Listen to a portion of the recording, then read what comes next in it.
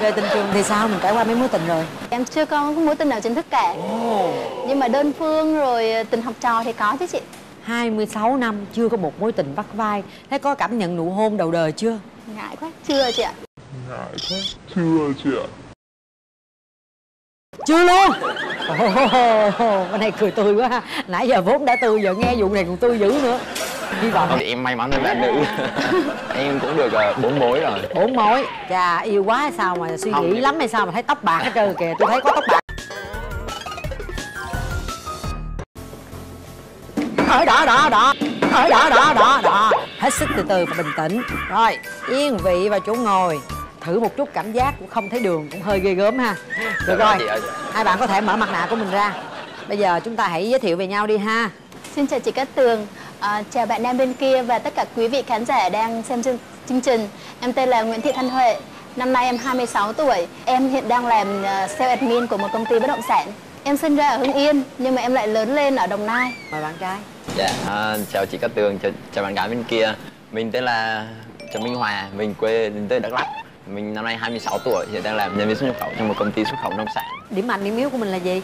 à, Điểm mạnh của em thì cũng không nhiều lắm đâu. Em, à, mọi người hay nhận xét em là thông minh, nhanh nhẹn, dễ thương. À, Không có giận ai bao giờ hết trơn á. Còn à, điểm yếu của em thì chắc là Khi nào mà em vui là em nói nhiều lắm, nói nhiều mọi người đau đầu luôn á. Lúc em buồn. Lúc em buồn thì em không nói gì hết trơn á. À thôi em buồn đi em. Em đừng vui. Em đừng vui mất công người ta đau đầu. Có một cái nữa là em hay bị quên lắm chị. Cứ cái chuyện gì buồn là em hay quên lắm. Rồi mình mình mình thì sao? Điểm mạnh điểm yếu của em gái là gì? À, điểm mạnh của em đó là vui vẻ, hòa đồng. À, em có khả năng chăm sóc các bé nhỏ và em có thể cả trồng cây, nấu ăn. Cái điểm yếu của em thì cũng khá là nhiều. Em à, hay bị lạc đường. À, em không rành về các thiết bị công nghệ. Cho nên cần phải có một chàng trai đưa đường dẫn lối cho em Đúng không? Dạ đúng rồi ạ. Về tình trường thì sao? Mình trải qua mấy mối tình rồi Em chưa có mối tình nào chính thức cả. Nhưng mà đơn phương rồi tình học trò thì có chứ chị. 26 năm chưa có một mối tình vắt vai Thế có cảm nhận nụ hôn đầu đời chưa? Ngại quá, chưa chị ạ. Ngại quá Chưa chị ạ Chưa luôn Cái này cười tươi quá ha. Nãy giờ vốn đã tươi giờ nghe vụ này còn tươi dữ nữa. Hy vọng Không em tin được chị ạ. Không tin được hả? Sao vậy? Ta nói thật thà gì mà không tin Khó tin, Khó này gọi là tin, khó, khó tin quá. nhưng mà vẫn có thật. Dạ đúng rồi. Thế còn em tình trường như thế nào? Thì Em may mắn hơn bạn nữ. Em cũng được ờ, bốn mối rồi. Bốn mối. Chà yêu quá hay sao mà suy Không, nghĩ lắm hay sao mà thấy tóc bạc hết trơn kìa. Tôi thấy có tóc bạc rồi phải nha. là tại trai em không phải tại mấy bạn gái đâu. À Dạ. sao tóc bạc tại trai em? Tại máu trai em truyền lại á hả? Dạ, đúng rồi. lành lắm lành lắm nè. Em không em thì không muốn nói nói mối tình gần nhất Em muốn nói đến nói tình sâu nặng nhất. À đúng rồi dạ. Rồi Thì yêu bạn đấy là từ hồi đại học Bắt đầu là năm ba đại học cho đến ba hơn 3 năm rồi lý do sao lại phải chia tay? Bị hiểu lầm. Hiểu lầm? Ai lầm ai? Bạn đó hiểu lầm em với một bạn là bạn thân của em hồi cấp 3 à, có nghĩa là nghĩ em bd á. Không, bạn đó là con gái, bạn thân của em là con gái. À, à à trời ơi khác giới mà tôi tưởng đâu. Rồi rồi hiểu hết hồn Dạ. hết vía.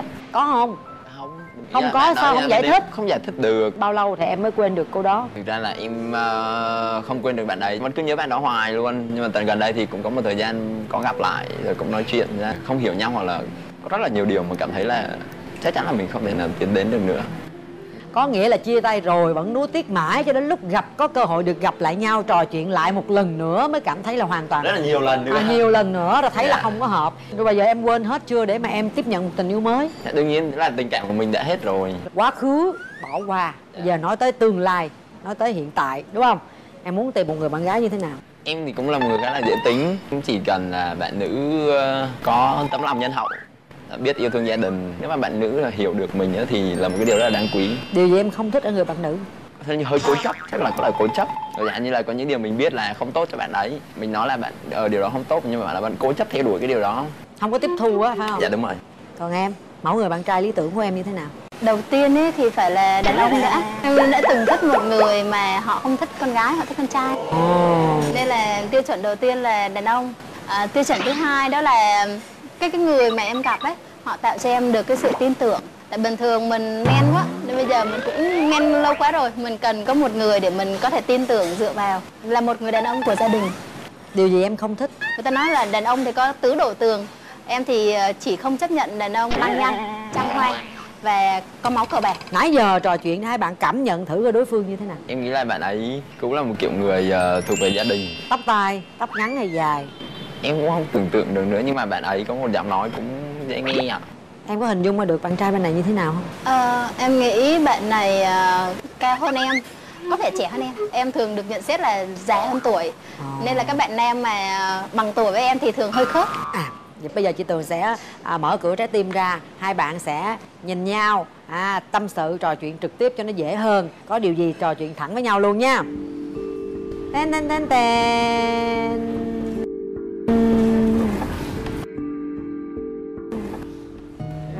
rồi bây giờ bạn. Rồi cảm ơn ạ. Wow, cảm ơn bạn. Đẹp ha. Đây là cuốn sách mình gói quà tặng bạn. Đây cảm ơn à, nếu mà muốn hiểu hơn về mình thì hãy đọc cuốn sách này. Bí ẩn quá ha. Dạ. về đọc nha em. Đoán về nhau có trúng được bên cái miếng nào không? À, bạn cũng cao nhưng mà cũng không nổi đến nỗi là trẻ như em nghĩ. À, còn em?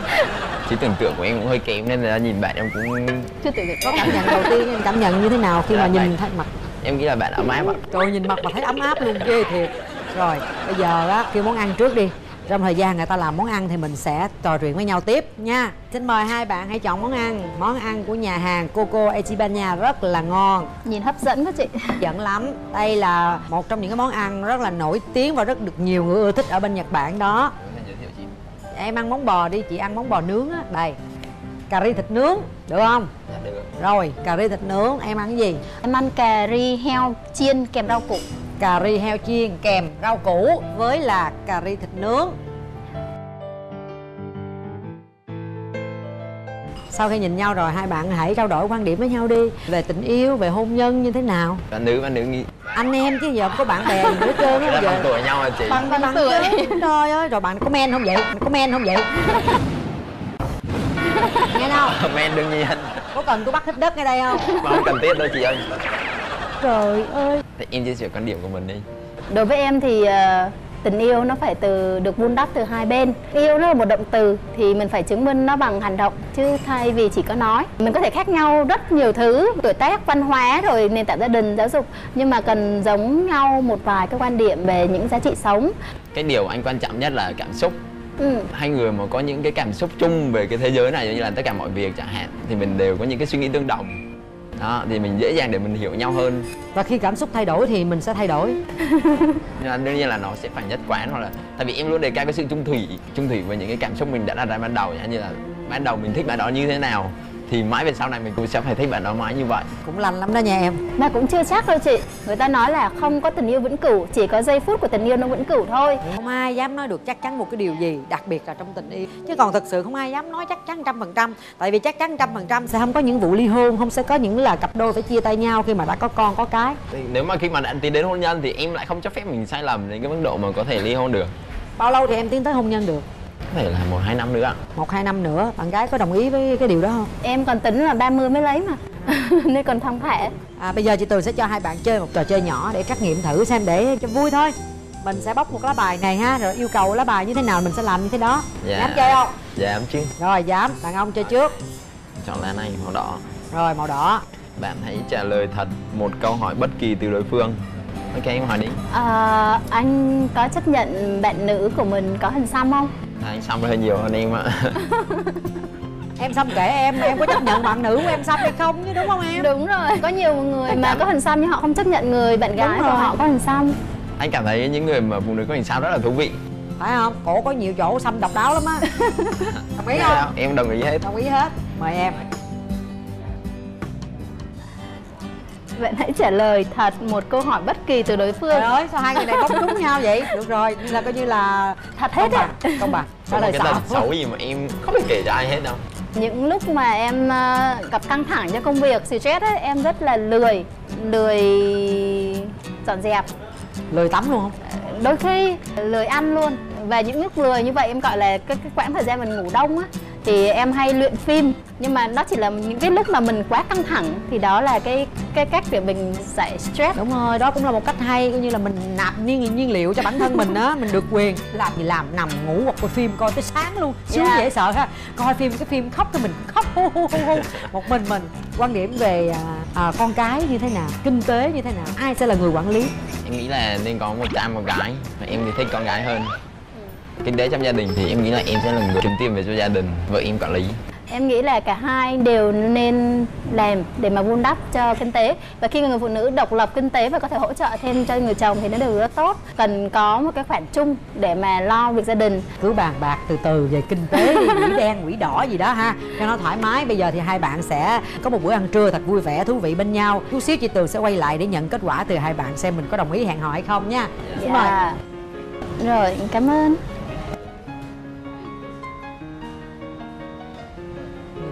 món ăn rất là hấp dẫn ha. Em đã ăn cái món cà ri nhật bản này lần nào chưa? Chưa ăn lần nào chưa